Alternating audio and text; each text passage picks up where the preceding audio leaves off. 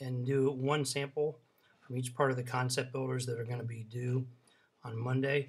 You're going to log into your account. I'm going to go as a guest because this is not my main computer. You only need to do two of the three uh, to get an 8 out of 10. and it's light bulb anatomy. I gave you a recommendation um, in the directions for what section of physics classroom to look at.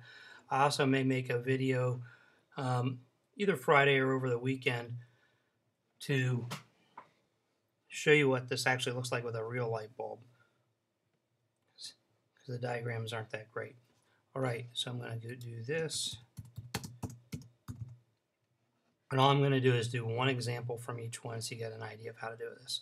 So you need to do two of these three successfully for an 8 out of 10, three out of three successfully for 10 out of 10.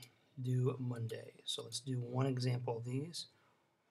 So the key th things for a light bulb to light are a different potential difference. So that means hooked up to both positive and negative uh, to a battery as well as positive and negative on a bulb.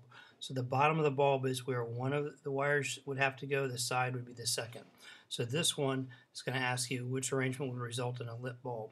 This goes from the positive, this connects to the negative, but it's going only on the side here. So the bulb itself won't light unless it goes through the side, up through the filament, and then down through the bottom. So this will not work. This one here, the negative is attached to the bottom of the bulb, so then that can go up through and off to the side of the positive. That seems like it does work. Here, this is just goofy. That's not going to work. So that's okay. I am not going to continue. I'm going to go back. I'm going to start again. with the second one. I wonder if it will make me go back to the other part. We'll see. So I'll do one example of the second one.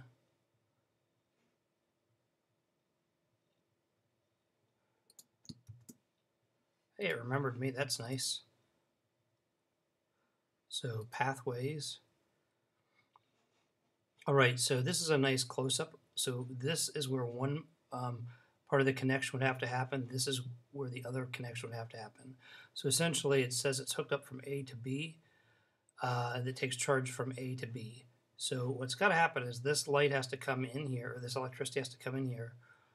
It actually has to if it was going to light this bulb, it would go through the filament here and out through the bottom.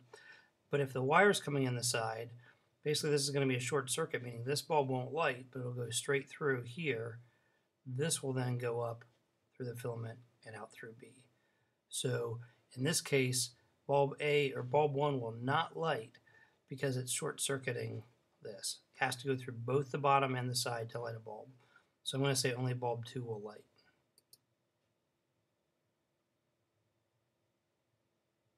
Uh, why is that not let it go?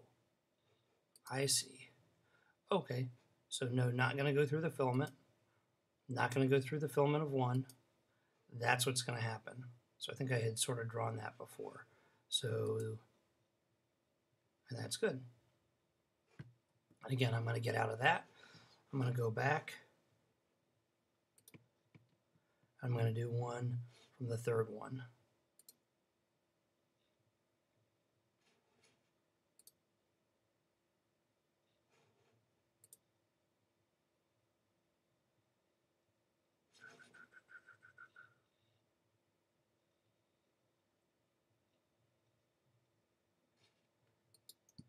Hey, it should recognize me. Okay, so I'm going to go over here. All right, so you got to read these questions pretty carefully and note that all three of these bulbs are lit. So it says at which location must a second wire be connected for all three bulbs to be lit? So what's got to happen is for this bulb to be lit, it's got to come in through the side, go up through the filament, and then down through the bottom. For this bulb to be lit, since the current's coming up through the bottom, it's going to go through the filament, has to go out the side. And this one, it's coming in the bottom of the bulb, has to go up through the filament and out through the side. So I think location C is the correct answer. So here here, there. And that's good. So that's my example of how to go through these. They're all a little different, so you got to be careful.